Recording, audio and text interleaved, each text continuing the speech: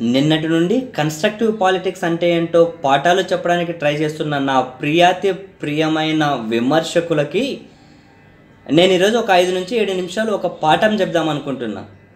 ఆ పాఠం ఏంది అని అంటే the difference between constructive politics and regular politics మొదట కన్స్ట్రక్టివ్ పాలిటిక్స్ గురించి కనుక మాట్లాడుకుంటే కన్స్ట్రక్టివ్ పాలిటిక్స్ అంటే మంచి మాట్లాడాలి చెడు మాట్లాడాలి ఇంకేదైనా కనుక డిస్క్రిమినేషన్ ఉంటే డిస్క్రిమినేషన్ కూడా మాట్లాడాలి.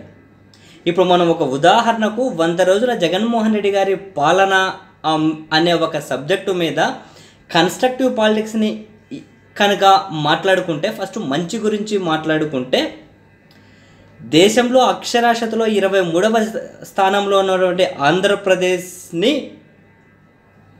పై ఇంకా పై పైకి తీసుకెళ్ళాలి అనుకుంటే మొదట పాఠశాల విద్యను పూర్తిగా మార్చాలి.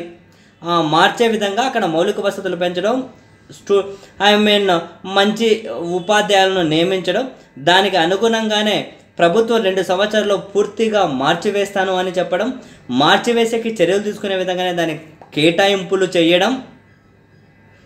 At the same time private I mean విద్యా సంస్థల్లో ఫీజుల నియంత్రణకు సంబంధించి ఒక కమిటీ వేయడం ఇవన్నీ కూడా ఖచ్చితంగా యాక్సెప్టెడే. నెక్స్ట్. వెనుకబడిన ప్రాంతాలు గిరిజన ప్రాంతాలు అండ్ కిడ్నీ బాధిత ఏరియాలు ఇక్కడల్లా కూడా హాస్పిటల్ నిర్మించాలి అని నిర్ణయం తీసుకోవడం. అండ్ గ్రామీణ ప్రాంతానికి కూడా వైద్యం అందుబాటులోకి ఉంచే విధంగా చర్యలు తీసుకునే దాంట్లో భాగంగానే one zero eight one zero four వాహనాలను కూడా కొనడం ఆ విధంగా విద్యను కూడా ఐ మీన్ చాలా క్వాలిటీ సారీ వైద్యం క్వాలిటీ వైద్యం కూడా అన్ని ప్రాంతాలకు అందుబాటులో ఉండే విధంగా ప్రభుత్వాలు ఆలోచించడం ఒక మంచి పరిణామం. మూడు గ్రామ సచివాలయాలు ఏర్పాటు ప్రతి రెండు వేల జనాభాకి ఒక గ్రామ సచివాలయం ఏర్పాటు అన్నది ఖచ్చితంగా యాక్సెప్టెడ్ ఎందుకనంటే ప్రభుత్వాలు మ్యాక్సిమం వ్యవస్థను ధ్వంసం చేయడానికి చూస్తాయి. వ్యవస్థలను నిర్మించాలనుకోవడం చాలా అరుదు. సో గ్రామ స్వరాజ్యం సాధించాలి అనుకుంటే ఇటువంటి గ్రామ సచివాలయ వ్యవస్థ అనేది చాలా మంచి వ్యవస్థ. నెక్స్ట్ మద్యపాన నిషేధానికి సంబంధించి దానికి అనుగుణంగానే వడివడిగా ఈ ప్రభుత్వం అడుగులు వేయడం అనేది చాలా మంచి పరిణామం. వాళ్ళ అడుగులేసే క్రమంలో బెల్ట్ షాపులు పూర్తిగా నిర్మూలించడం చివరికి దీంట్లో కూడా నియంత్రణ కోసం విడతల వారీగా మద్యపాన్ని నిషేధించాలి కాబట్టి అందులో దాన్ని ఏకంగా ప్రభుత్వమే తన చేతుల్లోకి తీసుకోవడం. సో అలా తీసుకొని రాబోయే రోజుల్లో మద్యపానాన్ని నిషేధించుకుంటూ దాన్ని రిస్ట్రిక్ట్ చేసుకుంటూ వస్తామని ప్రభుత్వం చెప్పడం దానికి అనుగుణంగా చర్యలు తీసుకోవడం ఖచ్చితంగా ఒక మంచి పరిణామం. నెక్స్ట్ ఎస్సీ ఎస్టీ బీసీలకు నామినేటెడ్ పదవులుగా సారీ నామినేటెడ్ నామినేషన్ పద్ధతిలో ఇచ్చే కాంట్రాక్టులలో యాభై పర్సెంట్ వాళ్ళకే ఇవ్వాలని తీసుకునే నిర్ణయం చాలా గొప్ప నిర్ణయం. ఎందుకనంటే ఇప్పటి వరకు కూడా కేవలం కొన్ని వర్గాల చేతిలోనే సహజ వనరులు అన్ని కాంట్రాక్టులు ఆర్థిక వనరులు కూడా వాళ్ళ గుప్పెట్లోనే ఉండుకొని వాళ్ళు మాత్రం ఎదుగుతున్నారు. మిగతా వాళ్ళు మాత్రం ఆర్థికంగానే బలపడట్లేదు. సో ఆ డిస్క్రిమినేషన్ ఆ అంతరాలు అలాగే ఉండిపోయాయి. సో రాత్రికి రాత్రి ఈ నిర్ణయం వల్ల మారిపోకపోయినా కూడా పొంగ పొంగ కూడా ఈ నిర్ణయం అనేది చాలా మంచి నిర్ణయం. దీన్ని అభినందించి తీరాల్సిందే. నెక్స్ట్ ఇప్పుడు మనం ఓవరాల్గా చూసుకుంటే ఈ నిర్ణయాలన్నీ కూడా accepted and at the same time అన్ని పనుల్లోనూ పారదర్శకత పాటించడం కోసం ఒక రిటైర్డ్ జడ్జిని ఐ మీన్ ఒక కమిషన్కి చైర్మన్ విభజించి అన్ని టెండర్లు కూడా ఆయన స్క్రూటినీ చేసి తర్వాత ఏం చేయాలనే సలహాలు ఇచ్చి ఆయన సలహాల మీద ప్రాజెక్ట్ కేటాయింపులు చేయాలనుకోవడం నిజంగానే అవినీతి నిర్మూలించాలనుకునే విధంగా ప్రభుత్వం ఈ చర్యలు తీసుకోవడం కూడా ఆహ్వానించదగ్గ పరిణామం. అని ఖచ్చితంగా అభినందించాల్సిందే.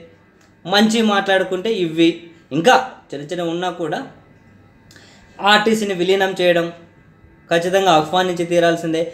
అండ్ ఇంకొకటి పరిశ్రమల్లో లో లోకలర్స్కి డెబ్బై ఐదు పర్సెంట్ ఉద్యోగాల కల్పన అన్నది మంచి అని చెప్పలేం చెడు అని చెప్పలేం వేచి చూడాల్సిందే. ఎందుకు అని అంటే మరి వాళ్ళకి కావలసినటువంటి మ్యాన్ పవర్ను మేమే స్కిల్ని ట్రైన్ చేసి మీకు మ్యాన్ పవర్ ఇస్తామని ప్రభుత్వం చెబుతున్నప్పుడు ఆ హెడేక్ ప్రభుత్వం అనేది ఐ మీన్ ఎలా టేకప్ చేసి ఎలా ఎగ్జిక్యూట్ చేస్తుందో మైట్ బి కాలం నిర్ణయిస్తుంది కాబట్టి దాని మీద మనం ఇప్పటికిప్పుడే ఒక కమెంట్ చేయలేం. మంచికి సంబంధించి. ఇంకా బ్యాడ్. బ్యాడ్ దగ్గరకు వచ్చిందంటే ఇసుక పాలసీని రూపొందించడం ఖచ్చితంగా లేట్ అయింది. ఆ లేట్ అవ్వడం వల్ల చాలామంది కార్మికులు ఇబ్బంది పడ్డారు కూడా. And at the same time ఇప్పుడు ఆంధ్రప్రదేశ్లో అవసరానికి కావాల్సినటువంటి లభ్యత లేదు. అలా లభ్యత లేకపోవడానికి కారణం కూడా గత ప్రభుత్వాల హయాంలో ఇష్టం వచ్చిన దోపిడీ జరిగి ఇష్టం వచ్చినట్లు ఇసుకను తవ్వేసి రాష్ట్రాలు దాటి వేరే రాష్ట్రాలకు కూడా అమ్మేసిండ్రు కాబట్టి ఈ పరిస్థితి వచ్చింది. ఈ పరిస్థితులంతా కనుక కంట్రోల్లోకి తీసుకోవడానికి ఇప్పుడు ప్రభుత్వానికి ఇంకా కొంచెం కలిసి వచ్చిన అంశం ఏంటి అంటే వరదలు వచ్చి దానివల్ల అడ్డదిడ్డంగా తవ్వేసిన ఇసుక కొంతవరకు కానీ మళ్ళీ పూ పూట్ చేసింది పూడిక లభించింది. సో ఇప్పుడు ఇప్పటికైనా వీళ్ళు రూపొందించిన ఈ ఇసుక పాలసీని ఖచ్చితంగా చాలా సమగ్రంగా అమలు చేసి ఎక్కడే కానీ ఎటువంటి దోపిడీ కనుక ఆస్కారం ఇవ్వకుండా పోతే లభ్యత కూడా మ్యాక్సిమం అవైలబిలిటీ ఉండొచ్చు దాన్ని ఓవర్కమ్ చేయొచ్చు. సో ఇసుక పాలసీని రూపొందించడంలో లేట్ అయింది జనాలు ఇబ్బంది పడ్డారు. అది కొంచెం ప్రభుత్వం నిదానంగా తీసుకున్న చర్యనే. ఇంకొక బ్యాడ్ పవర్ పర్చేస్ అగ్రిమెంట్స్ మీద ఖచ్చితంగా సమీక్షించాల్సిందే. అయితే దూకుడుగా ఇలా నిర్ణయం తీసుకొని ఒక ఘర్షణ వాతావరణాన్ని ఎస్టాబ్లిష్ చేసే బదులు ఇటువంటివన్నీ కనుక ముందే ఎస్టిమేట్ వేసి ఒక నిశితంగా ఈ సలహాదారులు ఎవరైతే ఉన్నారో మరి వీళ్ళు ఏం చేస్తున్నారో నాకు తెలియట్లేదు. ఒక నిశితంగా వీళ్ళు ఒక సలహాలు సూచనలు ప్రభుత్వానికి ఇచ్చి చాలా నిశితంగా దాన్ని పరిశీలించిన తర్వాత ఇవన్నీ ఎదుర్కోకుండా ఉండాలి అంటే ఇంకెంత పగడ్బందీగా దీని మీద ముందుకెళ్ళాలి అని చెప్పి ఆ ప్రభుత్వం ఆలోచించి నిర్ణయం తీసుకోవాల్సింది. సో దీని మీద దూకుడుగానే ముందుకెళ్ళింది. పోలవరం లేట్ అవుతుంది అన్నది నిజం. ఇంకా మరీ ఎక్కువ లేటు కాకుండా పోలవరాన్ని అనుకున్నట్లే రెండు వేల ఇరవై ఒకటి లోపల ఖచ్చితంగా ప్రభుత్వం పూర్తి చేయాలి. ఆ పూర్తి చేస్తాను అన్న హామీ ఈ రాష్ట్ర ప్రజలకు ప్రభుత్వం కల్పించాలి. కల్పించాలి అంటే దానికి సంబంధించిన చర్యలు ఇప్పటికైనా కనుక త్వరితగతిన తీసుకోవాలి. ఇప్పటికి తీసుకున్న చర్యల ప్రకారం అయితే పోలవరం లేట్ అయ్యే పరిస్థితులే కనిపించాయి లేట్ అయ్యింది కూడా. And at the same time అన్ని ప్రాజెక్టులను రాష్ట్రంలో ఆపేయడం వలన చిన్న చితక వాళ్ళు చాలా ఇబ్బంది పడ్డారు. కోర్స్ దీంట్లో ప్రాజెక్టు కేటాయింపుల దగ్గర నుంచి నిర్మాణాల వరకు అవినీతి జరిగింది అని ప్రభుత్వం అనుకున్న ఆ అవినీతిని ఒక క్రమపద్ధతిలో బయటకు తీసుకొచ్చి ఆ బాధితులను శిక్షించే విధంగా కనుక ముందుకు వెళ్ళింటే మంచిగా ఉండేది. అట్ ద సేమ్ టైం చిన్న ప్రాజెక్టులు కూడా కనీసం కంటిన్యూ అయ్యి ఉండింటే చిన్న వాళ్ళు ఎవరైనా కనుక ఇబ్బందులు పడకుండా ఉండేవాళ్ళు. కోర్స్ ప్రభుత్వం ఇరవై ఐదు పర్సెంట్ పనులు పూర్తి కాని వాటిని ఆపేసింది. మిగిలినవి జరుగుతున్నాయన్నా కూడా జరుగుతున్నట్టు గ్రౌండ్ లెవెల్లో కనిపిస్తలేదు. అట్ ద సేమ్ టైం వరదలు వచ్చాయి కాబట్టి వరదల వల్లగానే ఆగినాయని చెప్పినా కూడా ఇప్పటి వరకు అయితే ఆగినాయన్నది నిజం. ఇంకాగానే ఇంకా ఆగి లేటు కాకుండా వీటిని ముందుకు తీసుకెళ్ళాలి. ఆ ముందుకు తీసుకెళ్ళాల్సిన చర్యలు ప్రభుత్వం త్వరితగతిన తీసుకోవాలి. ఇది నిజం. నెక్స్ట్ ఇంకొక సరే అన్న క్యాంటీన్లు మూసేయడం అనేది ఖచ్చితంగా నాట్ యాక్సెప్టెడ్ అది ఒక మంచి నిర్ణయం కాదు. ఎందుకంటే ఎవరో సక్రమంగా రోజుకు వంద రూపాయలు యాభై రూపాయలు సంపాదించుకునే చాలామంది పేదవాళ్ళు అక్కడ వెళ్ళి కడుపు నింపుకునే వాళ్ళు ఇప్పటికైతే ఖచ్చి- అసలు రద్దు చేయడమే మంచి నిర్ణయం కాదు. ఆలస్యమైంది. దాన్ని త్వరితగతిన స్టార్ట్ చేయాల్సిందే. నెక్స్ట్ డిస్క్రిమినేషన్ ఇది ఒక అసభ్యతకు సంబంధించిన విషయమే. ఏంటి అని అంటే సాక్షాత్తు ముఖ్యమంత్రి గారే అసెంబ్లీలో ఒక ప్రతిపక్ష పార్టీకి చెందినటువంటి ఎమ్మెల్యేని అచ్చెంనాయుడు గారిని ఆయన బాడీ మీద కామెంట్స్ చేయడం. ఇట్లా ఉన్నావు ఇంత పెరిగినావు ఇంత మనిషి పెరిగినావు ఇది ఇది ఈ డిస్క్రిమినేషన్ ఎవరు కూడా యాక్సెప్ట్ చేయట్లేదు. అఫ్ కోర్స్ జగన్మోహన్ రెడ్డి గారిని ఐ మీన్ అమితంగా అభిమానించే అభిమానులకు ఇది కరెక్టే కావచ్చు. అలా కరెక్ట్ అవ్వడానికి వాళ్ళ కౌంటర్స్ కూడా ఉండొచ్చు. గత అసెంబ్లీలో అచ్చెంనాయుడు గారు కానీ నువ్వు మగాడివా అన్నారు అని చెప్పి. అండ్ సాక్షాత్తు నల నలభై సంవత్సరాల ఉన్న చంద్రబాబు నాయుడు గారు కూడా ఒక ప్రతిపక్ష నాయకుడి మీద దాడి జరిగింది. అని ఒక వార్తలు వస్తానే దానిపై వెళ్ళి పరామర్శించాల్సిన వ్యక్తి కనీసం ఫోన్ అయినా చేసి పరామర్శించాల్సిన వ్యక్తి దీని మీద రాజకీయాలు చేయాలనుకోవడం. లేదు అని కూడా ఆయన మీద దాడి చేసినప్పుడు అప్పుడు ఎంపీగా ఉన్నటువంటి కేశిన నాని గారు మా మా వాళ్ళైతే ఇంకా ముక్కలు ముక్కలుగా నరికేవాళ్ళనడం అనడం ఆ సోమిరెడ్డి చంద్రమోహన్ రెడ్డి గారు ఐ మీన్ మేము అనుకుంటే ఇలా ప్లాన్ చేయడం చాలా గట్టిగా ప్లాన్ చేస్తామనడం ఆయన ఆలపాటి రాజేంద్ర ప్రసాద్ గారు ఏకంగా వాళ్ళ తల్లి చెల్లె ఏం చేశారు ఇది అని చెప్పి ఇంత నీచంగా మాట్లాడడం. ఇవన్నీ చూసిన జగన్మోహన్ రెడ్డి గారి వీరాభిమానులకు ఇది కరెక్టే అనిపించవచ్చు. అయినా కూడా వాళ్ళు తప్పు చేశారని చెప్పి ఆ తప్పును మరొక తప్పుతోనే సరిదిద్దడం అనేది ఎప్పటికీ మంచిది కాదు. తప్పును మరో తప్పుతో సరిదిద్దలేం. రెండూ తప్పులే. తప్పును తప్పుతో సరిదిద్దనేది మాత్రం తప్పు కరెక్ట్ అయిపోదు.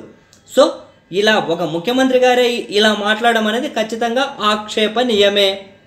సో ఇది గుడ్ బ్యాడ్ డిస్క్రిమినేషన్ నా పాయింట్ ఆఫ్ వ్యూలో. నా పాయింట్ ఆఫ్ వ్యూలో దీన్ని కన్స్ట్రక్టివ్ పాలిటిక్స్ అంటారు. ఒకవేళ మీ పాయింట్ ఆఫ్ వ్యూలో నాకు గుడ్ అన్నవి మీకు బ్యాడ్ అనిపించినా మీకు బ్యాడ్ అన్న అనిపించినవి ఇంకొకరికి అది పూర్తిగా అసభ్యత అనిపించినా కూడా ప్రతి దాని మీద కూడా మీ అభిప్రాయం ఏంటి అని చెప్పడాన్ని మాత్రమే ప్రతి దాని మీద. అన్నీ మంచి అన్నీ చెడు ఏదైనా పర్లేదు. ప్రతి దాని మీద మీ అభిప్రాయం చెప్పడం మాత్రమే కన్స్ట్రక్టివ్ పాలిటిక్స్ అంటారు.